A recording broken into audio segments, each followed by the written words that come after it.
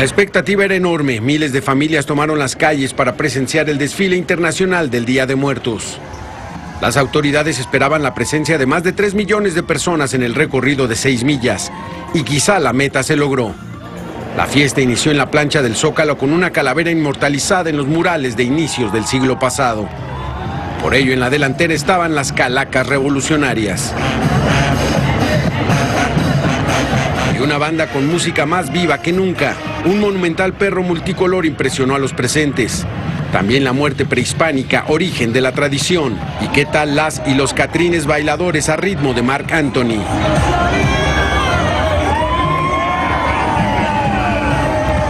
Y también a ritmo de cumbia colombiana de la Sonora Dinamita. Decía Octavio Paz que para los antiguos mexicanos la vida se prolongaba en la muerte. No era el fin natural de la vida, sino fase de un ciclo infinito. Por eso estos carros alegóricos que representan la muerte con colores muy vivos. Y personificada como jinete la muerte, lanza besos a todos. La lluvia se encargó de terminar con el desfile del Día de Muertos, pero la gente se fue contenta después de haberlo presenciado. Desde la Ciudad de México, Alberto García, Univisión.